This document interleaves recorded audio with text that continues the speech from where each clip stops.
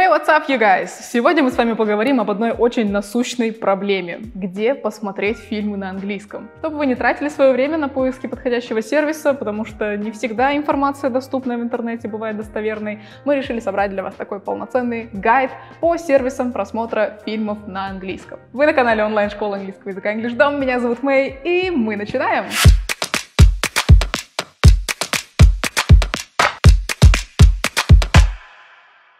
Перед тем, как начнем, обязательно подписывайтесь на канал и нажимайте там сразу на колокольчик, чтобы вовремя получать уведомления о новых полезных видео. Дополнительно еще хочу вам сказать, что в конце этого видео вас ждет конкурс, где, внимание, вы можете выиграть подписку на месяц на сервисе Netflix. Условия очень простые. Все, что нужно, это быть подписанным на этот канал, поставить этому видео лайк и досмотреть это видео до конца. И последнее правило вы узнаете как раз-таки в конце этого ролика, так что давайте уже приступать. Существует два вида фильмов на иностранном языке в интернете. Это платные и бесплатные фильмы. Платные означает, что вы оформляете подписку на какой-либо сервис и платите от 4 до 10 евро в месяц. Это уже в зависимости от самого сервиса. Ну и, возможно, иногда еще придется платить за конкретный фильм. Здорово, да? Ну и, конечно, за такие условия тебе тут и двойные субтитры, и HD-качество, и еще какие-нибудь дополнительные приколы, но давайте разбираться поподробнее. И вот наш первый источник фильмов на английском, великий всемогущий Netflix. Если у вас даже никогда не было подписки на Netflix,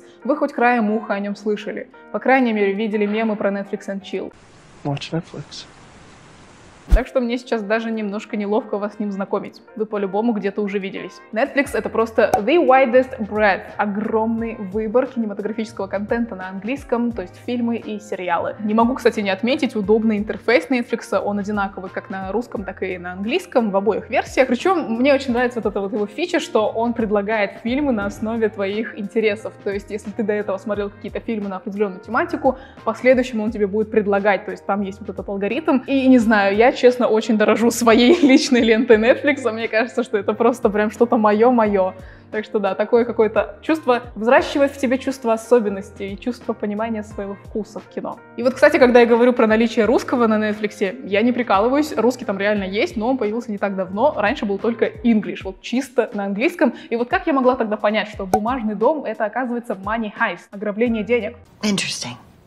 Так что да, на Netflix оба варианта субтитров, как на русском, так и на английском присутствуют, и вам даже не нужно запоминать, на каком моменте вы остановились. Вы можете в любой момент поменять и субтитры, и озвучку, и при этом сервис запоминает автоматически, где вы смотрели до этого, и вы сможете продолжить просмотр прямо после изменения настроек. Ну, из недостатков это цена. На Netflix самые высокие тарифы из тех сервисов, которые мы сегодня будем советовать, и чтобы понять, подходит он вам или нет, вы можете оформить бесплатную премиум подписку на месяц и после этого уже решить для себя, хотите ли вы продолжить. Ресурс номер два — это Amazon Prime Video. Тут тоже существует огромное количество фильмов на этом сервисе. Есть еще разные подписки. Это Amazon Video и Amazon Prime. Есть еще подписка для студентов, кстати. Студенческий, наконец-то ты пригодился.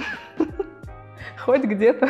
Там также есть возможность арендовать фильмы. Помните, как раньше арендовали на дисках, на кассетах и смотрели дома? Сейчас это можно делать в Amazon Prime. В Amazon Prime Video есть еще параметры изменения качества субтитров и потоковой передачи на экране. Еще, что интересно, есть аудиоописания, которые прям напрямую рассказывают, что в этот момент происходит на экране из серии «Он пошел», «Он присел» и глубоко вздохнув произнес. То есть, как бы вообще, по сути, если вдуматься, довольно интересная такая специфика. Грубо говоря, просто озвучивается информация информация о действиях, изменения сцены, изменения визуала и так далее. Есть, конечно, тут одно но. В Amazon в основном фильмы давнего производства, и новинок проката довольно мало, довольно редко можно их найти. И еще одна проблема Amazon заключается в том, что он объединяет все свои сервисы под одним интерфейсом. Ну, то есть как бы интернет-магазин и просмотр фильмов, все идет в одной страничке не совсем классная штука для кошелька, как вы можете понимать. Наш третий иностранный ресурс — это SpeechYard. И вообще, скорее, по определению, это больше образовательная платформа, которая дает возможность учить английский по видео с субтитрами. Классная вообще, очень. Субтитры даются на английском языке, но вот именно для изучения английского по субтитрам тут дается очень такая крутая. Во время просмотра, если вы наведете мышкой на субтитры, то видео ставится на паузу, и вам высвечивается русский перевод. То есть те же самые субтитры на английском, только переведенные. Это очень круто, потому что что не нужно бежать в переводчик, переводить это все. Просто навел мышкой, и тебе все стало понятно. Здесь нет возможности посмотреть фильм полностью, к сожалению, но для образовательной функции такая техника довольно рабочая. Вы можете изучать английский на Speech Yard именно по сценам из фильмов. И вам даже после просмотра еще предложат сделать упражнение на проверку слов и запоминание того, что вы только что просмотрели. Есть возможность общаться с другими пользователями сервиса и таким образом прокачивать свой разговорный английский. На Speech Yard есть как бесплатная подписка с довольно простой регистрацией, так и платная годовая подписка. Итак, первый ресурс онлайн-кинематографа — это кинопоиск. И хотя он чемпион по противоречиям, все же в нем полно преимуществ. Это большое количество контента, субтитры с дорожками на английском и на русском, удобный интерфейс, что тоже немаловажно, ну и наша любимая кнопочка «Продолжить просмотр», как же без нее. Но, к сожалению, некоторые подводные камни здесь тоже есть. Несмотря на наличие хоть и недорогой подписки, вам все равно придется покупать некоторые фильмы отдельно. Наверное, самая значимая проблема — это проблема с доступностью сезонов. Ну, то есть, например, человек купил подписку, а сезонов какого-нибудь его сериала на Кинопоиске оказалось меньше, чем этих сезонов есть на самом деле.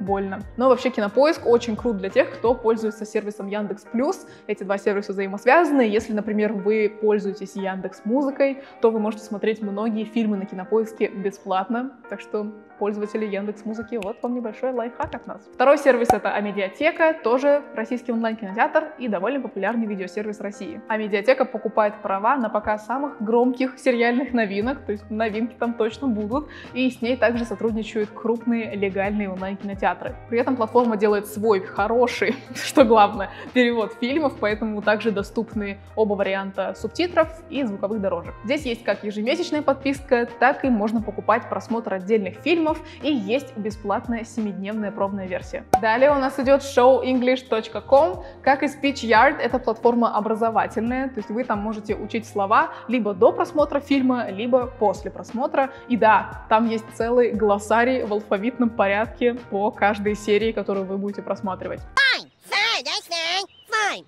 И здесь тоже субтитры являются интерактивными, то есть можно навести мышкой на субтитры, на слово, и вам тут же высветится перевод, а видео поставится на паузу. А можно вообще эти субтитры выключить, и тогда, когда вы будете ставить видео на паузу, то вам тут же будут высвечиваться английские субтитры и снизу перевод. Если совсем становится сложно, то там есть русская озвучка, не переживайте. И, кстати, шоу English тоже запоминает момент, на котором вы остановились, и можно будет продолжить просмотр с этого момента. И вот на этом сервисе, кстати, есть возможность смотреть фильмы как платно, так и бесплатно, только вот единственное различие, бесплатной версии можно смотреть до 30 минут в день и добавлять 15 слов в словарь, что вообще-то оптимальный вариант для каждодневной практики. Если купить подписку, то смотреть можно без ограничений. И, кстати, подписка там относительно недорогая, около 3 евро в месяц, и чем больше месяцев вы оплачиваете, тем больше у вас скидка. Короче, все классно, если только прям попробовать придраться, то можно отметить довольно простой дизайн сайта, незамысловатый, но это вообще не напряжно для изучения. Кстати, если вы давно хотели научиться легко смотреть фильмы на английском, легко воспринимать быстрые потоки речи и при этом не отвлекаться на субтитры,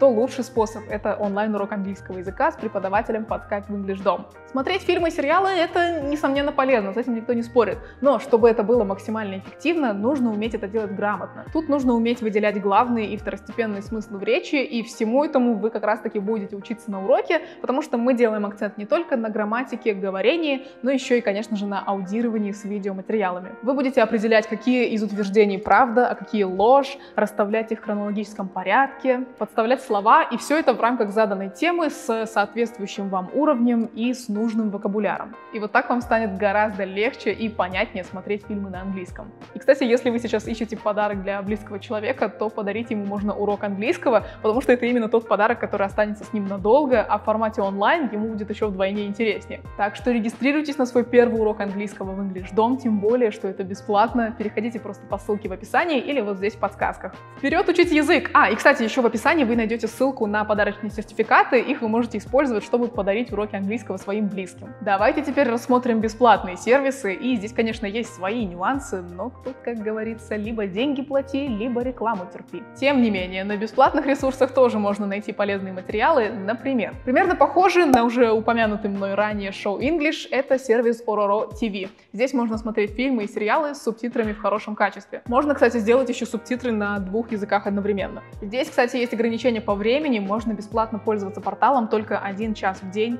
Но давайте с вами будем честны, кто из нас учит английский больше часа в день? leolang.ru или leolang.ru Мое французское прошлое говорит Леоланг, так что оставим мы этот вариант. Из преимуществ этого сервиса это большое количество фильмов и доступность как английских, так и русских субтитров. И не только субтитров, но еще и звуковых дорожек. Из недостатков довольно много рекламы, и она часто еще бывает при перемотках, и на самой странице достаточно большое количество рекламных баннеров, но ничего такого, чтобы это прям будоражило, мы ничего такого не заметили. Ну и плюс качество тут чуть похуже, чем в других сервисах, всего 720, но это уже хорошо. В общем, учитывая, что контент бесплатный, и нам предоставляют оба варианта субтитров и озвучек, рекламу можно потерпеть, я думаю. Следующий сервис это Finglish, и это еще один образовательный портал. Абсолютный плюс, здесь очень мало рекламы, и она в основном только баннерная. Ну и плюс все бесплатно. Есть также оба варианта субтитров, если выделить слово, то высветится перевод, ну и качество хорошее, 720. Количество фильмов тут, конечно, не такое, как в Netflix, можно даже сказать абсолютно наоборот, но даже этого количества фильмов схватит на очень долгое время. И, кстати, если пройдете там регистрацию, то вам выдадут еще больше фильмов. Ну что, мы сегодня с вами узнали, где можно смотреть фильмы на английском как платно, так и бесплатно, так еще и частично платно. И это было еще одно напоминание о том, что очень круто, что у нас с вами сейчас есть столько возможностей учить язык, просто бери и пользуйся,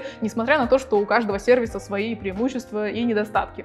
В общем, надеемся, что это было вам полезно, пользуйтесь на здоровье, и на этом у нас на сегодня все. Не забываем ставить лайки и подписываться на наш канал. Как и обещала, озвучиваю последнее правило конкурса. Первые три вы узнали в начале этого видео, и вот оно, последнее.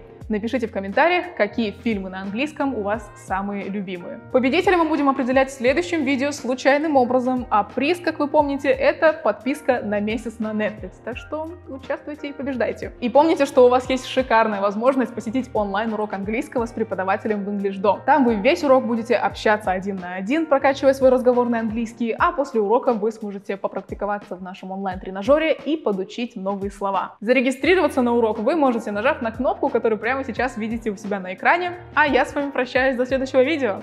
Bye!